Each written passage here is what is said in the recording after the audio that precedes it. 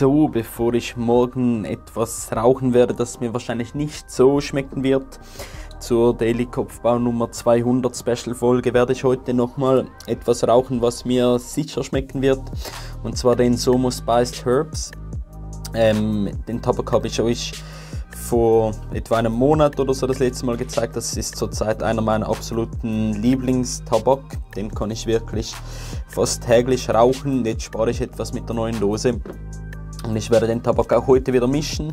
Und zwar wieder mit dem Dry Sahara. Ich werde das ähnlich wie mit dem Tasmania Lyptus gestern handhaben. Also einfach etwa 20-30% vom Dry Sahara rein.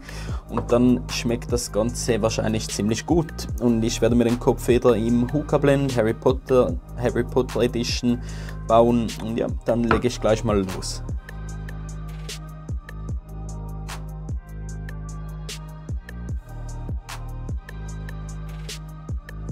Auch hier ist es wieder extrem schwer zu erkennen, wo die Grenze ist, aber ich habe etwa diesen Teil hier äh, mit dem Dry Sahara gebaut, den Rest den Spiced Herbs wieder Rand hoch, ganz fein angedrückt. Hier ragen noch einige Blättchen über den Rand hinaus, aber das macht so nichts.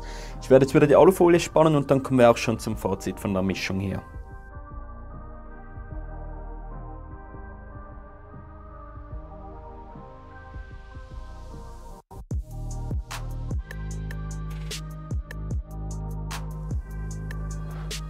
So, also zuerst einmal, sorry, in den letzten drei Folgen oder so hatte ich das Mikrofon falsch eingestellt.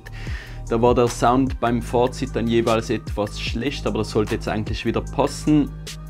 Und ja, ähm, dann komme ich auch schon zum Fazit von dem Tabak hier, also von der Mischung hier. Ähm, ich muss jetzt ehrlich sagen, ich hätte etwas mehr Dry Sahara reinmachen müssen, weil so wie ich es jetzt gemischt habe, schmecke ich eigentlich gar nichts vom Dry Sahara raus. Ich denke, das könnte man sogar halb-halb mischen. Also hier überwiegt der Spiced Herbs extrem was mich aber natürlich auch nicht stört, denn wie vorhin schon gesagt, das Spiced Herbs ist absolut mein Lieblingstabak zurzeit, also das stört mich jetzt nicht, dass da kein Dry Sahara drin ist, aber ich denke, ich werde das dann noch mal ausprobieren, vielleicht halb-halb mischen, weil ich denke, es könnte auch ziemlich interessant sein mit dem Dry Sahara noch drin.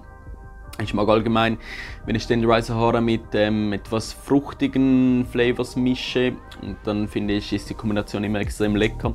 Aber ja, jetzt habe ich halt nur Spice Herbs sozusagen, aber schmeckt trotzdem. Ich kann den Tabak nur empfehlen, der ist sehr, sehr speziell. Also ich kann es jetzt auch mit nichts vergleichen. Ähm, der Tabak ist Karamell, Kräuter.